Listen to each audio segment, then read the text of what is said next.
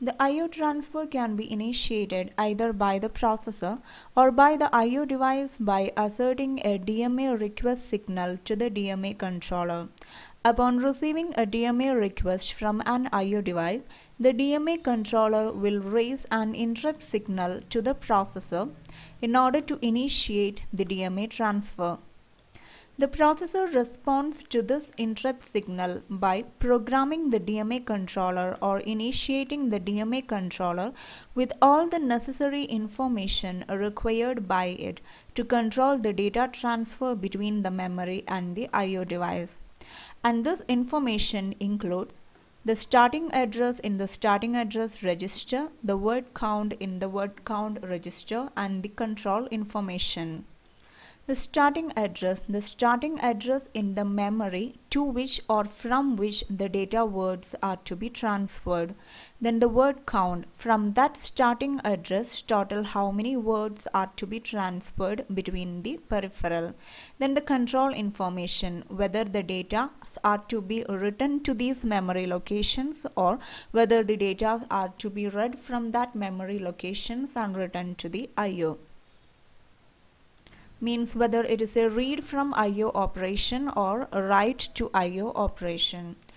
Having programmed the DMA controller, the CPU can continue with its work. By that time, the DMA controller communicates with the IO device and get ready with the data to be transferred. Having the data ready, DMA controller will request the control over the bus from the processor by raising a bus request signal or a hold signal. We know that when an interrupt signal is received by the processor, while the processor is in the midst of some instruction cycle, then the processor should complete that instruction cycle before responding to that interrupt. But unlike interrupt here, when the hold signal or the bus request signal is received by the processor while the processor is in the midst of some instruction cycle, then the processor need not complete that instruction cycle before responding to it. There are DMA breakpoints within the instruction cycle. Hence, the processor can respond back without much delay using a bus grant signal or a hold acknowledgement signal. A bus grant signal or a hold acknowledgement signal to the DMA controller shows that the processor has left the control over the bus and DMA controller is now the master of the bus. Having got the bus, DMA controller will now control the data transfer between the memory and the peripheral by placing the address in the start address register onto the address bus and by placing the control information onto the control bus. Now the data corresponding to this address will be transferred between the memory and the peripheral through the data bus. Suppose we need to read a block of 20 words from IO device 1 onto the memory location starting from 1000. Then the starting address register content is 1000. The word count register content is 20. The control information is read from IO1. The DMA controller places the address 1000 onto the address bus. The control information read IO will be kept onto the control bus and then the data to be written onto this memory location from IO device 1 will be kept by the IO module onto the data bus and will be written to that location 1000. Having transferred one data word, the content of the starting address register will be incremented or decremented depending on the direction in which next word to be transferred. Suppose here the content is incremented showing that the next word is to be written onto the location 1001. Now one word is already transferred hence the word count register will be decremented showing that 19 more words are to be transferred.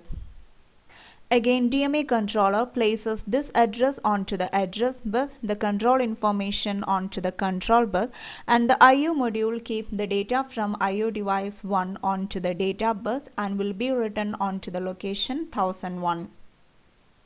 Again, the address register content will be incremented and the word count register will be decremented and so on. Finally, when the entire block is transferred, the word count reaches 0. Hence, the DMA transfer is completed. Thus, the DMA controller informs the processor using an interrupt signal and by keeping the bus request signal or the hold signal low. So, upon receiving the interrupt, seeing a low bus request signal and the word count 0, the processor recognizes that the DMA transfer is completed. Hence, the processor takes the control back from the DMA controller Take the bus control back from the DMA controller by keeping the bus grant signal low. So this mode of DMA transfer in which the DMA takes the control over the bus, transfer the whole block of data and after the completion give the bus control back to the CPU is called the burst mode of DMA transfer. During this entire duration of block transfer, CPU cannot use the bus but can continue with other tasks. Also, the CPU has to just hold off. No context switching, no saving the state information and hence a lot of overhead is avoided. The other option for burst mode DMA transfer is cycle stealing mode in which whenever the DMA controller gets control over the bus. It initiates the transfer of just one word, then keep the hold signal or the bus request signal low and keep the bus control back to CPU because sometimes the IO device may be very slow and hence the next word to be transferred may not be ready. So the CPU can now use the bus. When the next word is ready, DMA steals another cycle from the CPU. So here the system allows the DMA controller to use the bus to transfer one word then it should return control back to CPU and again get back the CPU for the transfer of another word and so on. These modes can be made more transparent by allowing the DMA to steal the bus cycles from the CPU only if the CPU is not actually using the system bus. This is called transparent DMA.